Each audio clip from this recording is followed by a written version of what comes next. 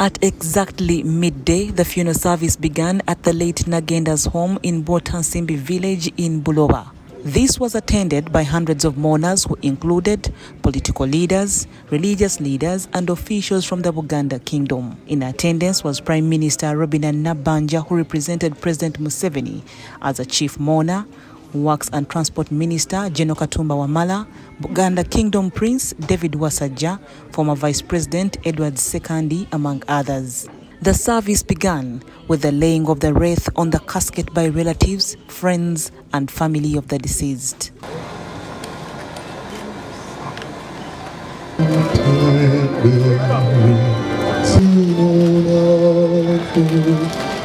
On behalf of the President, Prime Minister Robinah Nabbanja eulogized the late Nagenda as a man who worked for the unity of the Buganda Kingdom and the central government. He appealed to his family to keep Nagenda's legacy alive.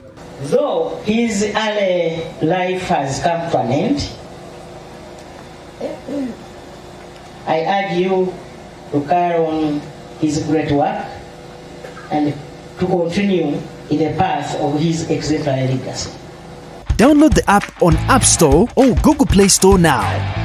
Vision Digital Experience, the future of media.